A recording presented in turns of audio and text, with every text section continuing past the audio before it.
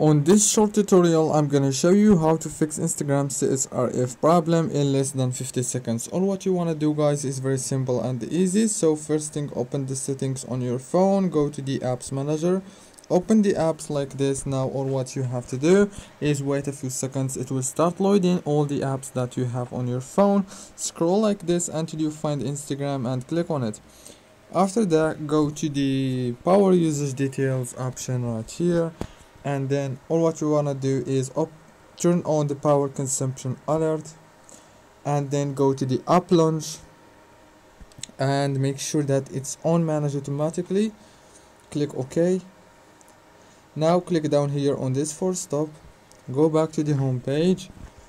Now last thing open play store or the app store if you have iphone. And search for instagram then click here on update and that's it. After you update it the problem is solved. Don't forget to like and subscribe